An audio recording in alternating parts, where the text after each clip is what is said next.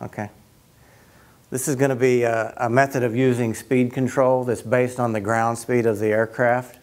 And it's, I've found that it's the least math intensive method of determining proper spacing on the final.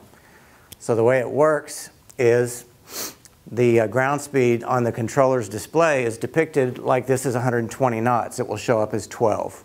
180 knots will show up as 18. So it just so happens that the aircraft will fly that amount of distance in the same amount of time. To prove that, uh, this guy is uh, every 60 knots is a mile a minute, so 120 would be two miles per minute, okay? This guy's 12 miles out from the airport, two miles a minute, that takes him six minutes to fly that far. A guy doing 180 is three miles a minute. Six minutes times three miles a minute is 18 miles, so that that proves the fact that he will fly 12 when he flies 18, okay? Also notice uh, what we're going to do now is we're going to figure their speeds at these, these speeds. Notice this is slow guy followed by fast guy, which is typically the biggest challenge. We're going to figure these speeds all the way to the runway. Once we've done that, all we have to do is add our separation requirement because as you can see the way it's shown right now, those aircraft would get to the runway at the same time. So we've got to, we've got to have this faster airplane four miles we're going to use for separation. And, and why four? Because three miles is my, my separation standard typically behind a small aircraft or large, following large. But if you're following a heavy, of course, you would, you would have to do the uh, five miles or six with a small following a heavy. Whatever the separation requirement is, we want to, we're, we're going to add a mile for compression. You, you guys, I assume, know what compression means. So rather than going, well, when he's 12 miles out, he's got to be 18 miles out, we're just going to add four miles. That's the separation plus compression, okay? And for the rest of this dis display, this, this, we're going to we're going to be using four miles, okay? Again, if you're following a heavy jet, you wouldn't use four miles. You would use whatever the separation requirement is plus compression, okay? All right, notice there's two ways of figuring, of figuring this out. Some people get one, some get the other. If you can get both, it's really helpful because there's different situations where you'll use either method. The first method is what I just explained. When he's 12 miles out, this guy needs to be 18 miles out plus 4. For separation, he would need to be 22 miles out, okay? So that would be helpful if you were up here on base leg and you were having to widen him out to get the, the proper spacing behind this. Let's say we'll call this guy a Cessna up in front. Okay, so 12 miles, you take the full speed here. Um, 12 miles is his full speed, right? You just take his full speed and add four. That's where he needs to be. You're golden. You switch him to the tower, clear him for the approach, you're done with him. The second method is looking at the difference in their speed and trying to figure out how much space do I need for that. And again, we're going to add four for the separation. During that, using that method, you measure from the front airplane. Okay? So let me explain that. All right, right, right now the difference in their speed is 60 knots or 6, the difference between 12 and 18. How much do I need for every 10 knots? In this scenario here, just look at the front guy. His distance to fly over his speed tells me what I need for 10 knots. Okay? So uh, I've got a 60 knot difference. I need one mile for every 10 knots. That's really helpful when, you're, when you've got the, the slow guy on final and the, the fast guys on base and you're trying to figure out where to widen out. If I know I only need six miles between them, then I'll know right when to turn them in. Remember, 60 knots, I need, a, I need a mile for every 10 knots, so I need six miles. That's just for the speed. I need four more miles for separation. Always got to add for the separation, so I need 10 miles behind that guy in this scenario, okay? Now let's take both of those methods and we'll advance the problem. Uh, three minutes to where now the, the guy doing 120 knots is now going to be on a six mile final and the guy doing 180 knots is now on a nine mile final. Okay? Again, notice that still two miles a minute, still three miles a minute, okay? Notice they're a lot closer now than they were back there. Um, all you have to do is look at the front guy, and again, his distance to fly, in this case six, tells me what I need for every 10 knots.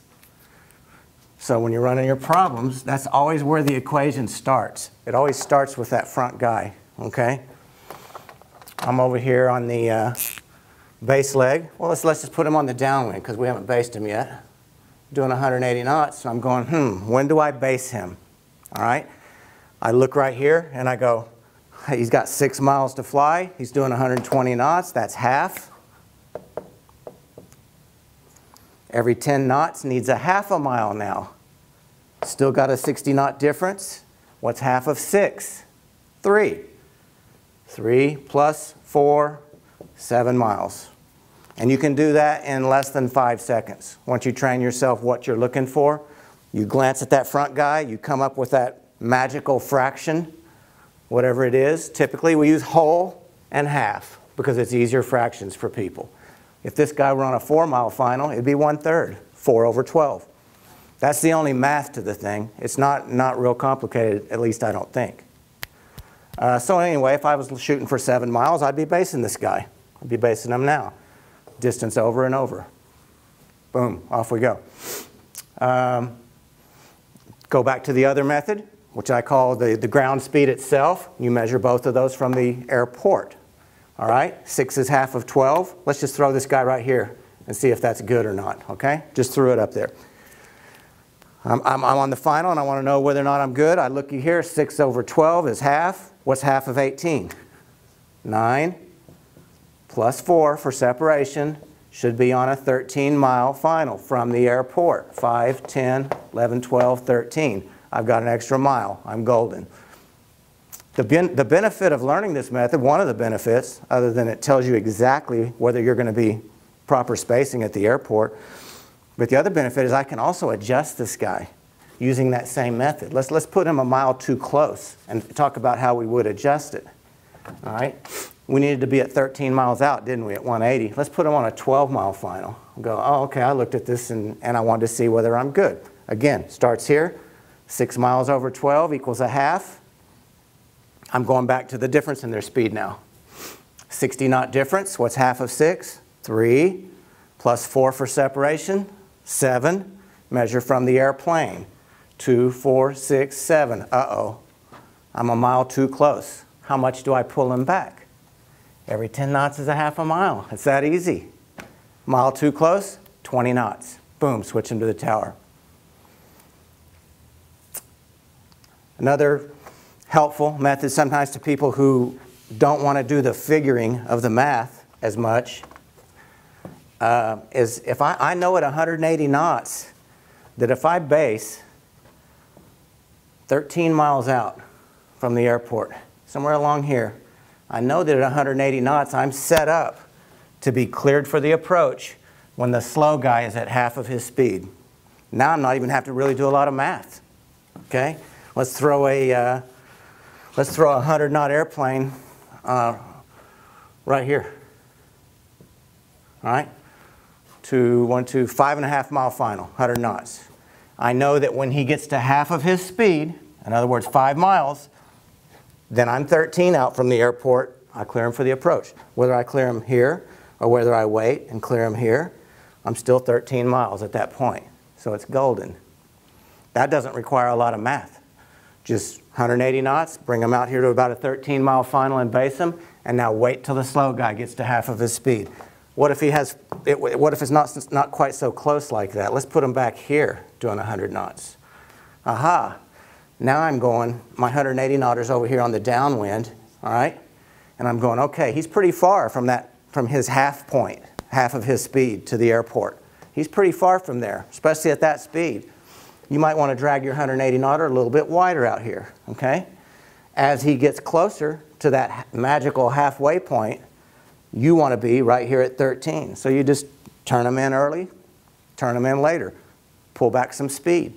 At this point, every 10 knots is half a mile. Again, once he gets up there, so I'll know if I'm too tight, I, know how much to pull him back. Out here, 10 knots is a mile, so all that same stuff applies except that you need, you need a mile for every 10 knots out here. That proves that 10 knots is not always half a mile. Mo most people that I know of like to vector these guys close to the final, to the outer marker, and do this with them until they can get in there. And that's because in this area, 10 knots usually is half a mile. And so usually that will work. Uh, but there are cases where it doesn't. The, the math doesn't lie. The ground speed doesn't lie. How about if I'm on a real windy day and I'm doing 80 knots? And I'm right here on about a, let's say a six mile final at 80 knots. Guess what I need for every 10 knots of overtake?